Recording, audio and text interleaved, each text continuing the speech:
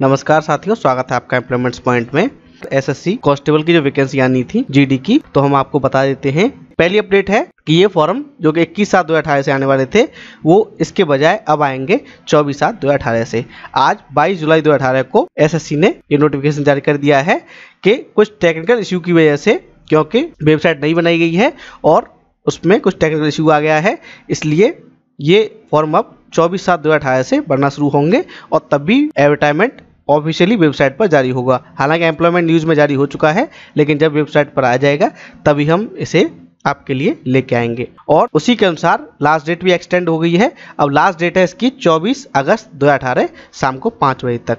साथ ही जो फ़ीस का पेमेंट है चालान के थ्रू वो एसबीआई की डेजिग्नेटेड ब्रांचेज में ही जमा होगा और वो भी बैंकिंग आवर्स के अंदर 28 आठ दो तक। लेकिन चालान का जो जनरेशन है, वो 24 आठ दो तक हुआ होना चाहिए। बाकी टर्म्स एंड कंडीशंस सेम रहेंगी। तो एसएससी ने ये नोटिफिकेशन जारी कर दिया है कि 21 सात दो अठारह से फॉर्म आने वाले थे। अब वो 24 अगस्त दो अठारह से आएँगे। दूसरी बात कि जो इंस्ट्रक्शन है वन टाइम पासवर्ड के और फॉर्म भरने के, क्योंकि जब आप एसएससी की वेबसाइट खोल रहे होंगे तो वहाँ आ रहा होगा लॉगिन का ऑप्शन तो उसके बारे में कैंडिडेट्स के लिए इंस्ट्रक्शन जारी कर दिए गए हैं। उन इंस्ट्रक्शन को भी हम देख लेते हैं अब। तो इंस्ट्रक्शन जारी किए गए हैं। उसके अनुसार आपको पहले रजिस्ट्रेशन करना होगा। जो आपने पहले रजिस्ट्रेशन कर रखा था आईडी पासवर्ड, वो काम नहीं करेंगे तो आपको दोबारा नए सिरे से रजिस्ट्रेशन करना होगा एसएससी की वेबसाइट पर।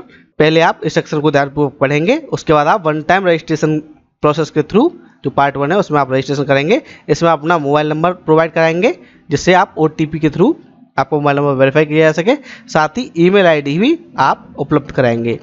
इसके अलावा आधार नंबर या फिर आधार एनरोलमेंट नंबर भी आप उपलब्ध कराएँगे। अगर ये नहीं है तो आप voter ID card PAN card passport driving licence school college ID और एम्प्लॉयर आईडी वो आप वहाँ शो करेंगे। इसके अलावा आपकी टेंथ का रोल नंबर और ईयर ऑफ़ पासिंग वो आप लिखेंगे।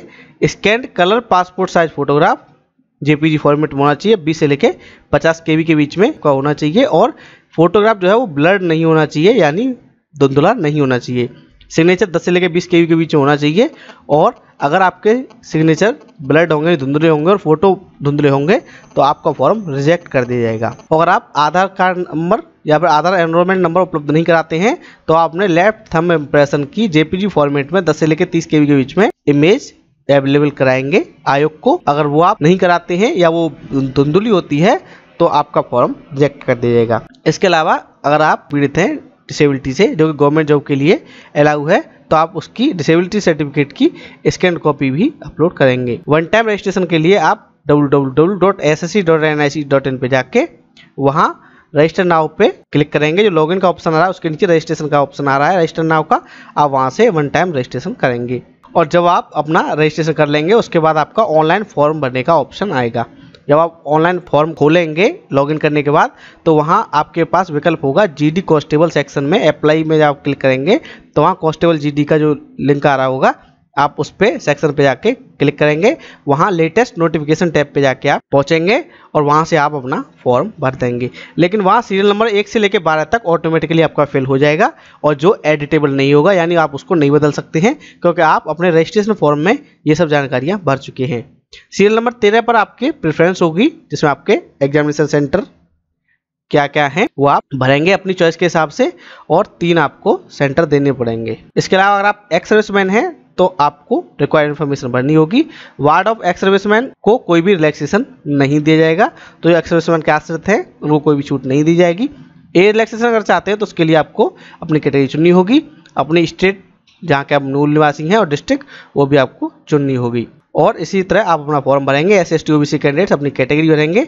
इसके अलावा आपकी जो बाकी जानकारियाँ हैं, वो आप एक एक करके भरेंगे और जब आपका फॉर्म कंप्लीट हो जाएगा तो आप डिक्लेरेशन पर क्लिक करेंगे कि आई एग्री उसके बाद आपकी जो फॉर्म की इन्फॉर्मेशन है, वो सबमिट हो जाएगी। आप उसको सबमिट करेंगे और उसके बाद जो कैंडिडेट फ़ीस से एग्जेप्टेड नहीं है, जिनको छूट नहीं मिली हुई है, वो एस चालान या फिर ऑनलाइन मोड के थ्रू फ़ीस जमा करेंगे। और अगर चालान के थ्रू आप जमा करते हैं तो आपकी फ़ीस दो तीन दिन में अपडेट हो जाएगी। इसके बाद आप अपने फॉर्म का प्रिंट आउट निकलवाएँगे और वो आपको कहीं भी भेजने की आवश्यकता नहीं है। हार्ड कॉपी आपको कहीं नहीं भेजनी है, लेकिन आपको जब आपसे मांगा जाएगा तो हार्ड कॉपी प्रस्तुत करनी होगी। दोस्तों, उम्मीद है आपकी डाउट्स क्लियर हो गई होंगी।